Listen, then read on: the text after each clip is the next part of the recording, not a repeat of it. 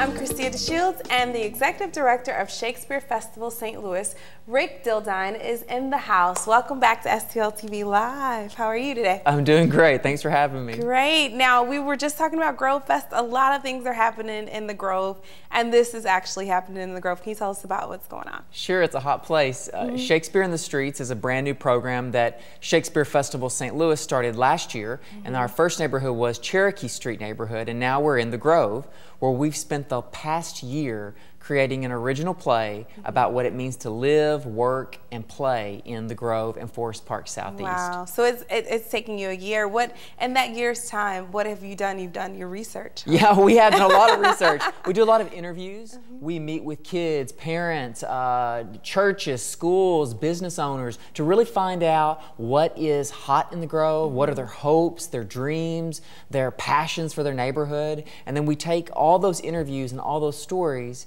and then we put it into an original play and we shut down a city street, in this case, Manchester, uh -huh. and we perform the play for free. So cool. Now, why do you think the Grove is so happening right now, that everyone's really interested in the Grove right now? Yeah, you know, I think there's a lot of great excitement going on there. It's definitely a, a neighborhood that has exploded in the past few years mm -hmm. with restaurants, with places to go after work, after dinner. Mm -hmm. It's really become a destination for people. It's yeah. a hot neighborhood. I think because it's so accessible and it's so inviting to all different types of people. That's so great. Now tell a little bit more about this play now. Shakespeare in the Park happens during the summer and I go and it's awesome. Will it be similar to that or? That's a good question. Mm -hmm. There, there is not going to be any Shakespearean dialogue, maybe a little bit, but what we try to do is find out what is really the hopes and dreams of a neighborhood and then we take those stories and we pair it with a Shakespeare play that has similar ideas and then we modernize it. Mm. So in this case, we took Shakespeare's The Winter's Tale okay. and we've modernized it to be taking place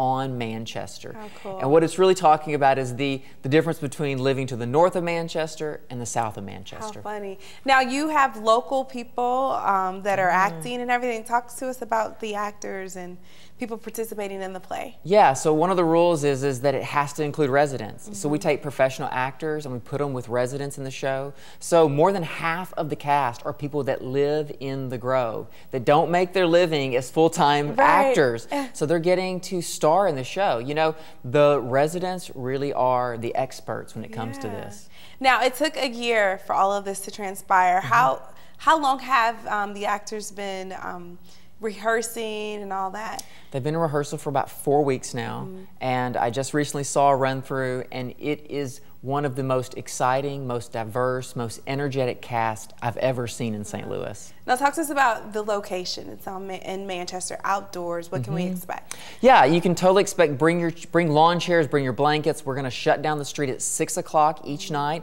Thursday, Friday, Saturday, September 19th to the 21st. Mm -hmm. So bring your lawn chairs, bring your blankets, bring a picnic, or you can have uh, dinner at one of the restaurants. Mm -hmm. And the show starts at eight o'clock, and it's totally free. It's totally free. Yep. That's some great entertainment um, the weekend. That's totally free. You can take pack a picnic basket, totally. basket or something picnic like that. in the street. Yeah. yeah. No, what are you excited? About? Are you starring in the play? No, no. I'm behind the scenes. Totally. I try to disappear. Uh, it's a great, incredible cast, uh, and the director, playwright, and designer have done a great job. That's so great. So we'll, there'll be lights and cameras and um, all of that, the big, you're going to do it big, just like Shakespeare in the Park? Yeah, we give it all the big production elements mm -hmm. it needs. There's one really exciting production element that's a big surprise at the end mm -hmm. that goes along with the culture of the Grove that people are going to love. So you have to come see it, though. Sounds exciting. He's not giving us any details. We're trying to get some details out of him, but he's not giving us anything. That means that you guys have to go and see it, right? And thank you so much, Rick, for being here today.